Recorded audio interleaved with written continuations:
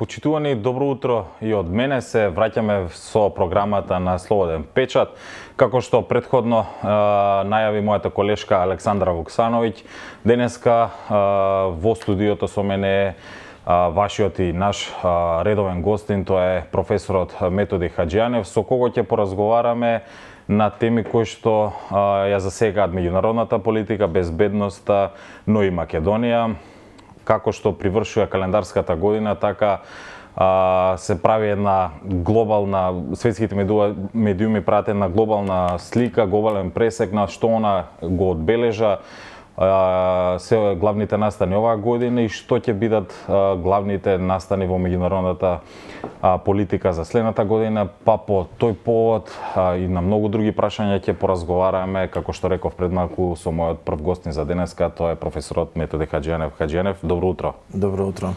А, слушнавте во најавата дека а, сега некако при крајот на оваа календарска година сите светски медиуми а, сакаат или пак прават некакви предикции за она што било и што ќе се случи, што не очекува во наредната година. Особено се интересни оние пишувања, анализи и теми кои што се а, осврнуваат на безбедноста на глобалната геополитичка карта. А, меѓутоа пред да почнеме од пошироката слика на што она не очекува или што беа главни маркантни поени поенти оваа година, би сакал да направиме едно мал рекапитулар на она што а, Македонија а, во безбедност или одбраната беше а, се случи оваа година.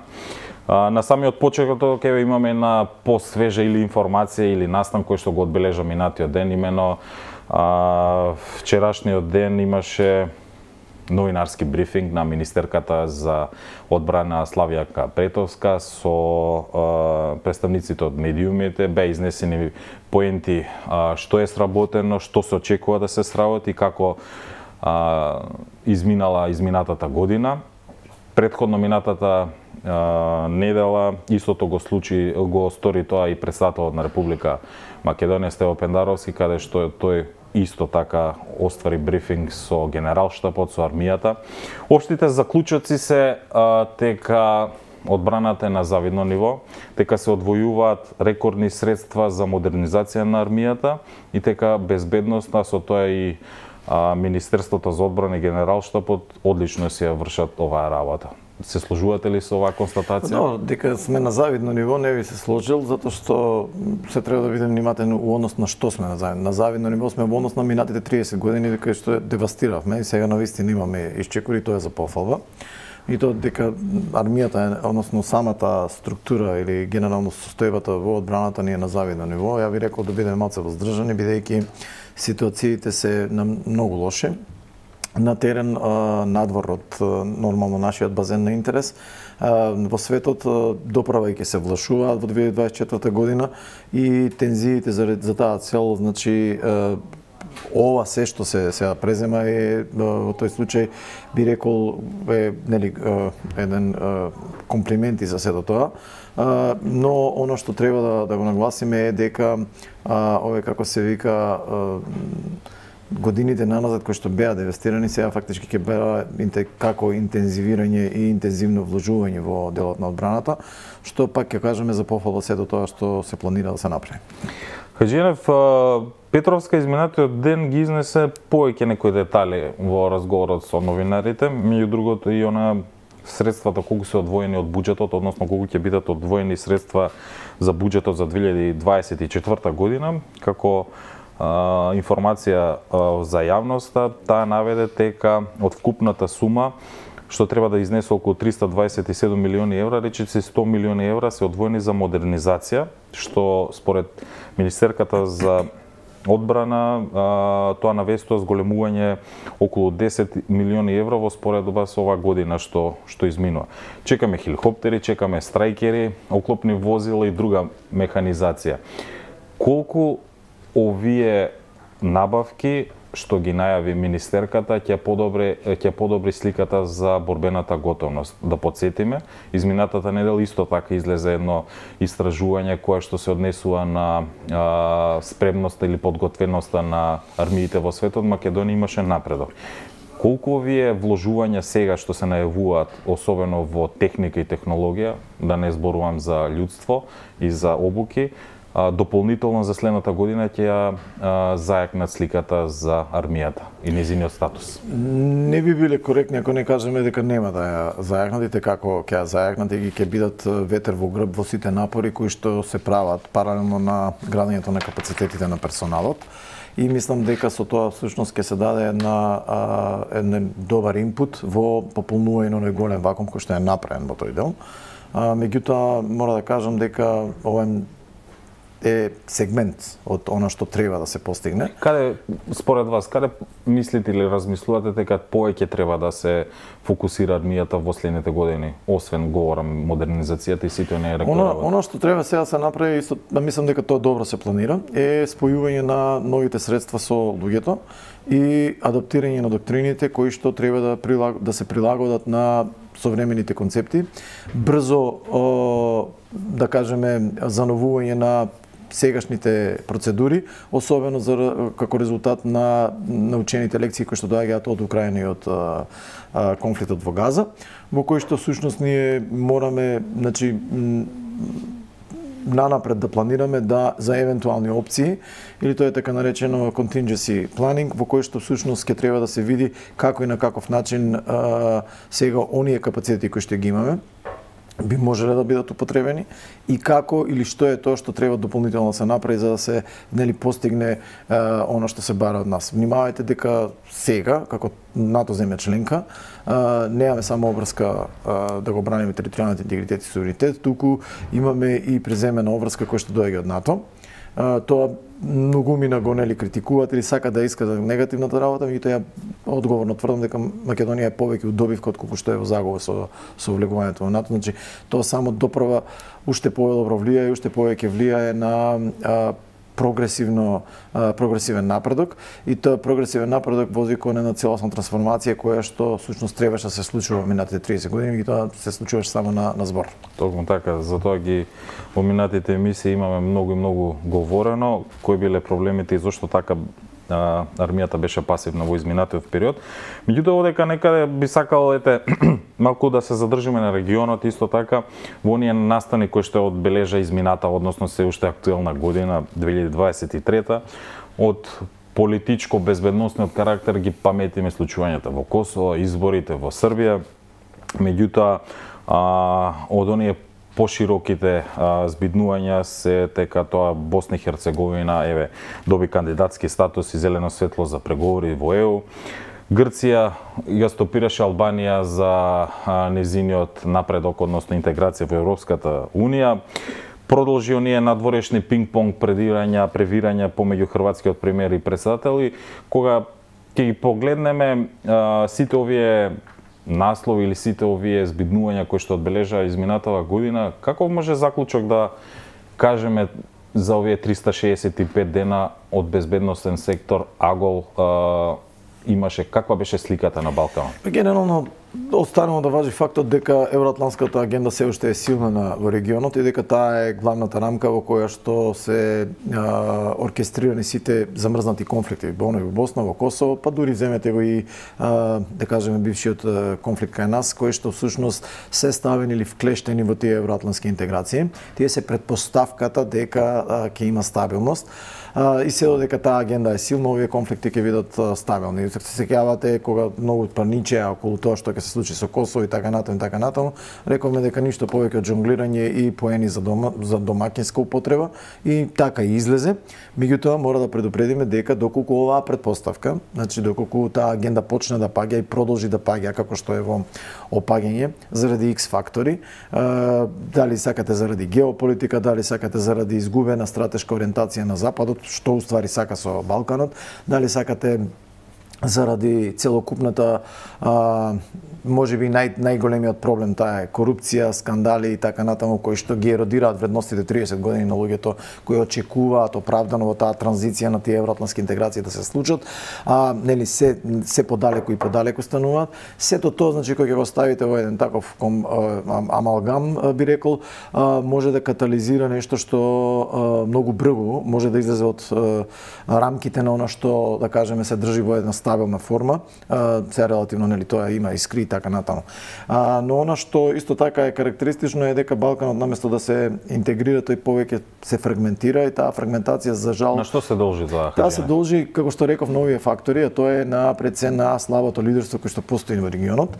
А, лидерство кој што освен тоа да направи да најголема најпрофитабилна дејност вие да станете политичар на Балканот и самото по себе зборува за тоа како и колку корупцијата и организираниот криминал ствари може да бидат врз безбедноста и националната безбедност. И токму заради тоа неколку пати споменавме уште во 22 година сте State го препозна ова и заради тоа започна да гради проекти кои што сушност имаат за цел да ја зајакнат овие меѓуредови кои што ги јавуваат организираниот криминал и корупцијата со цел да не бидат експлоатирани од хибридни закани од предизвикувачите на евроатланската агенда кои што генерално се ревизионисти и барат свое место во таа голема трка. На тој начин би рекол дека геополитичкото влијание ќе продолжи да има се поинтензивно темпо и поинтензивна динамика во присуство, ќе го гледаме низ тие, низ тие фрагментирани, да кажеме, обшества, дали станува збор за внатре политички, дали станува збор за регионално политички или станува збор за регионот како целина ќе влага во тие процепи и ќе сака да ги расшири тие процепи со што да, со цел нели да ги да го отапи или да го оскуди влијанието на евроатлантските интеграции. Од друга страна, очекувате а, да продолжи помош, тај да кажем дипломатската помош или притисоци од Европската унија, од нашите партнери САД за конечно затварање на некои отворени прашања овде? Мислам дека или ке, пак мислам дека ако е паметна Европа, тоа ќе треба да го направи и ќе треба конечно да расчисти, но и да овој како се вика да го зголеми е, напорот со кој што сушност ќе ги решава овие работи. Е, тоа мора да бидеме коректни и да кажеме дека за сега дипломатите во регионот имаат многу слабо влијание, бидејќи во нивно време имате голем пат или а, генерален пат на евроатланската агенда. Не велам дека тие се за се виновни, меѓутоа во секој случај знаете како на крајот на краиштата тие се тие кои што го ја представуваат унијата. Ние неколку пати зборевме, еве земете кај нас во Македонија, за разлика од америчките корнери кои што ги има речиси во неград или живот, животаркаат, имаат присуство, европскиот корнер речиси да не постои во Битола, во Штип, во Тето, во Гостивари. Што говори тоа? Тоа говори дека Дека не сме интересни, дека сме изгубили Не дека интерес. ние не сме интересни, него дека оние што треба да го прават тоа да бидат да бидат интересни и да држат таа агенда, очигледно мислат дека Скопје е Македонија и тука е проблемот и тука им се јавува вакуумот. Заради тоа се јас ова малце навлегов на повеќе на чиста политика, меѓутоа за жал безбедносните закани доаѓаат токму од таа чиста политика и тоа се тие процепи кои што ќе сакаат да ги експлоатираат овие да кажеме геостратешки ривали и кои најверојатно ќе ги експлоатираат заради тоа што што а, сето ова пак остава вакуум простор на локалните лидери, не само кај нас, значи на, на секаде да а, забошотуваат кога ќе се во прашање евроатланските интеграции и да даваат како се вика да даваат лоши резултати, лоши испораки. Има две сега страни оваа приказна. Едната е дека на Европа не е гајле, ако Европа, Балканот сака да влезе, нека влезе. Но од друга страна, Европа не може да го остави Балканот, бидејќи прво со а, самата имиграција која што се случува а, на дневна основа, а, диаспората и така натаму се отвараат канали за кои што тие нема да можат да ги да ги затворат. И од тука а, покажувањето дека можат да бидат доста прагматични во однос на одредени прашања како што е Украина, а на прашања како што се Албанија, Македонија да не бидат е малце лоши пораки и тоа е малце чудно. Уште едно подпрашање за регионот и за нашите граници, па би сакал еве да направиме некој осврт и на Европа, колку ќе можеме и на светот. А, исто во време минатата година, пред почетокот на оваа година, овдека во студиото ги коментиравме оние пишувања анализи на западните медиуми, тека некаде во март оваа година требаше а, да има некаков договор помеѓу Косово и Србија и така, дека најверојатно тој мировен договор ќе се имплементира 2023 година. Од денешна дистанца А, дури имаше ескалација на, на работите во однос на релациите со убиства, со пукање и нереди во Косово, меѓутоа избори во, во Белград. А, кратко, што очекувате за овој гор, гор, горчив проблем на Балканот и во нашето состојство да се случи во следната година? Па две работи. Едната е едната веројатност е дека тој случај може да се реши е, додека да трепнеме и тоа сите да бидеме збунети што е многу помала веројатноста, втората е дека ќе продолжи со жонглирањето затоа што и двајцата лидери се длабоко вкопани, имаат страшна машинерија.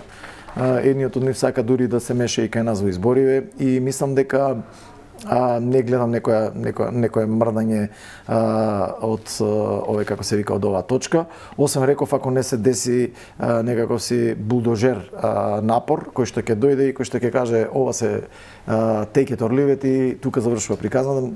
За сега не ја гледам не ја гледам силата на тоа бидејќи прво во Европа се јавуваат сериозни проблеми се имате пораст на десничарите. Е, да, тоа ми беше имате, имате страшен пораст на десничарите.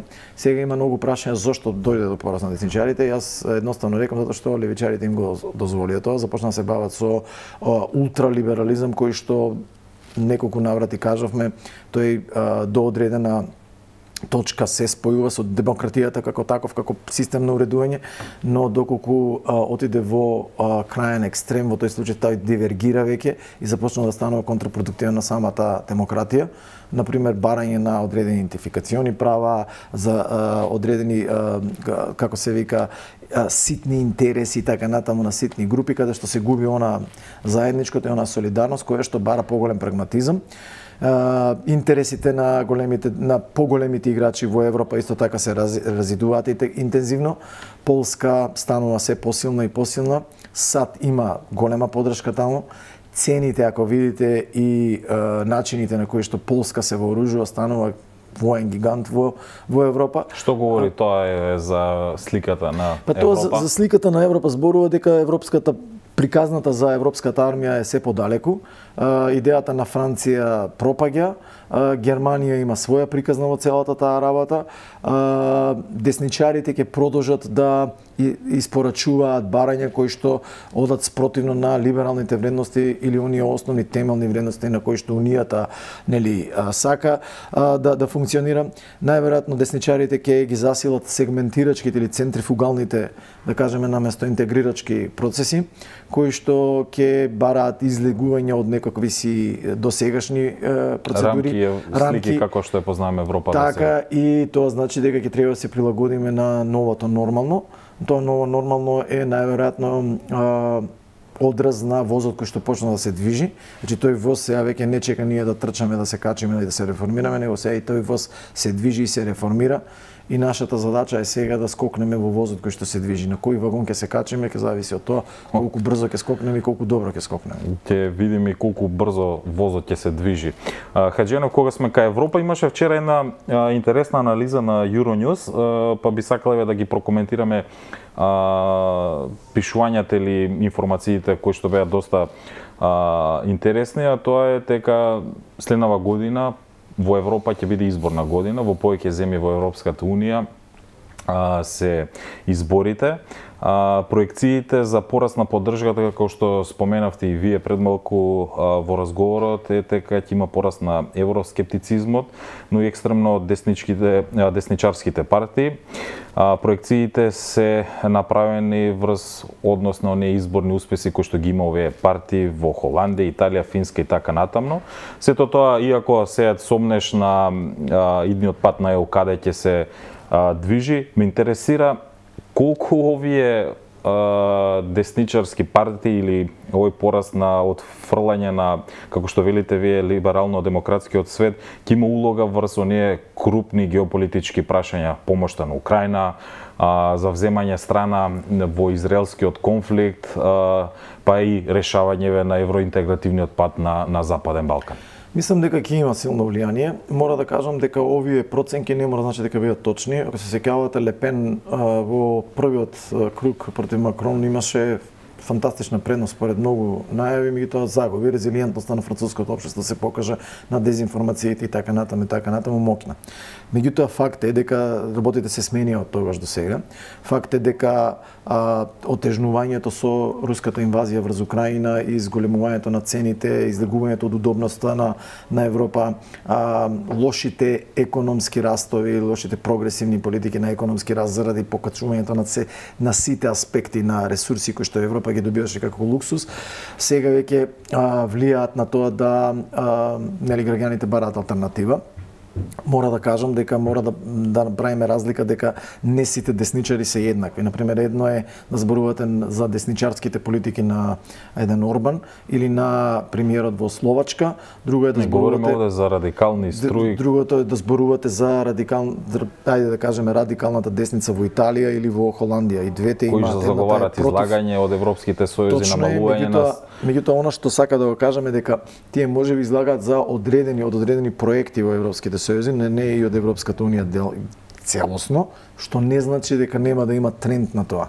Оно што е специфично е дека генерално, ако земеме НЗС да најдеме, ќе загуба Украина, затоа што нема да има единство во, во таа подршка големите играчи како Германија и Франција ќе продолжат најверојатно заедно со САД, Полска и другите да испорачуваат оружје бидејќи тоа и тие сваќаат важноста нова, меѓутоа не е на Шпанија, не е на Португалија кои што имаат сосема поинакви видувања и видовте што се случи со обидот на САД да направат поморска коалиција каде што Спанија, Франција одбија да да да значи прем прифати, меѓутоа го одбија начин на заради X причини, сега нема да навлегуваме, тоа сакав да кажам дека во следната година овие да кажеме сегментирачки или фрагментирањето на Европа најверојатно ќе продолжи, тоа не значи дека ќе ја гледаме дека ќе се растори, меѓутоа тоа најверојатно е одраз во некакви си поместување во таа реформа која што доправа ќе се случува. Во однос на Балканот, Каджијанов?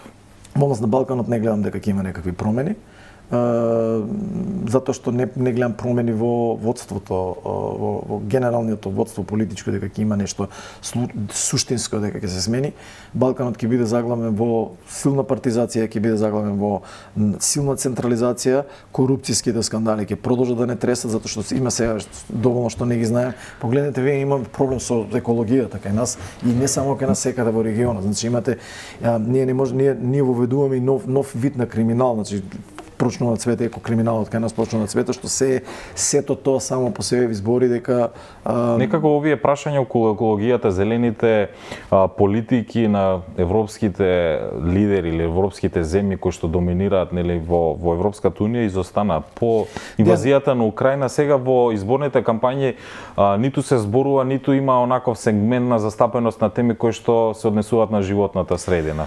Не, жално е, жално е тоа кога ќе видите дека а, ефектите од екологијата по здравјето и животот, значи податоци тоа се не сега не сум нели експерт за тоа, да. говорам за податоци кои што ги работеле релевантни институции кажуваат фрапантни податоци кои што а, на долг рок и тоа се пазите податоци кои што се пријавени, кои што рачунате дека доправа ќе се јавуваат ефекти, затоа што овие ефекти не можете да ги импакт веднаш да ги почувствувате ако освен ако нема некаква Не говорам за оние теми кои што велеа големите големите петорки во Европската унија замена нуклеарните централи со обновливи извори на енергија, со Знаете ли што е исходот од тоа? Плаќаме сега кеси. Единствено нешто е сега плаќаме пластични кеси и тоа е најголемото еко, еко нешто што го решивме. Значи Сакате да кажете Сакам да кажам дека ништо од тоа ќе изостане и ќе дефинитивно година дефинитивно затоа што тоа не е приоритет е, е, таквите политики и таквите политики доаѓаат тој се развојни права како права, се развојни права, се трета генерација на права и тоа се така наречени зелени права кои што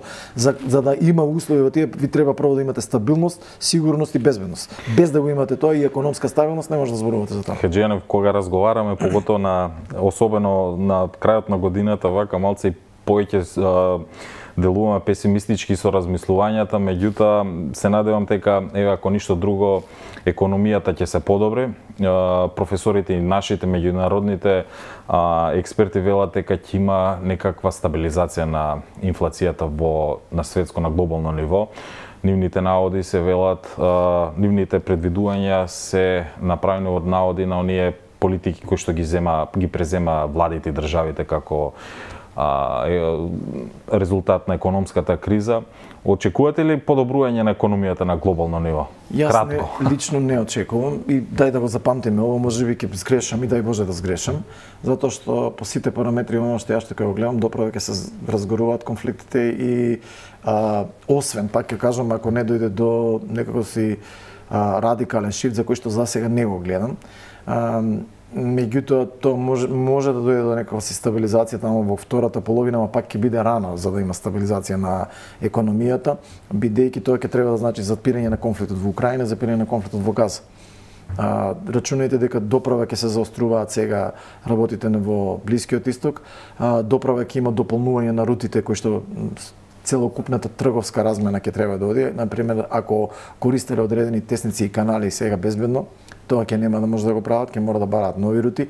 Тоа ќе изрукува одолговлечување на транспортот на рутата и зголемување на цената. На цената и- зголемување на осигурувањето на тие бродови, затоа што сега се повеќе и повеќе ќе ви се пиратерија, ќе нема да знаеме дали тоа јеменските екстремисти го направиле или некој друг го направи, така на се сите тие работи, значи сега ќе видат и така да не гледам како ќе се стабилизира економијата. Да се надеваме дека ќе се стабилизира, меѓутоа овде на сето ова кажано и изнесено во денешната емисија треба уште едно прашање, а тоа е од Европа да се преселиме во САД. Следната година гледаме реприза Бајден а, Трамп. Да или не?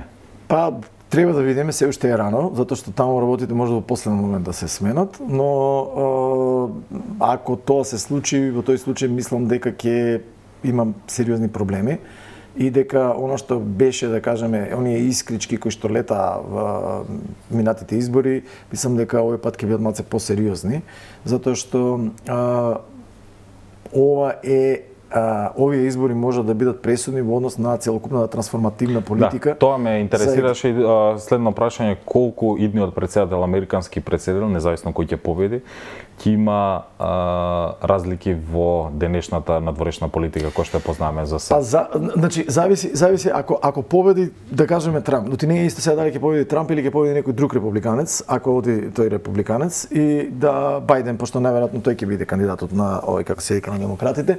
И сега не е исто затоа што а, политиките кои што ги најавува Доналд Трамп се да кажеме малтене погубни за сите оние интегративни процеси кои што ние ги Тоа знаеме де факто ќе влие на ќе влие геополитиката на во се, ќе влие светот. на, на то НАТО како ќе НАТО како каква сила ќе добива, НАТО како, како како се вика ќе ќе се развива, каков ќе биде односот кон ЕУ, војната во Украина, конфликтот во Газа, односите во Африка и генерално рачунајте дека тоа ќе се одрази на сите оние проекти за развој и кои што ги дава САД како такви, а ги поддржува и ќе се одрази на сите проекти и помош кои што ја дава САД.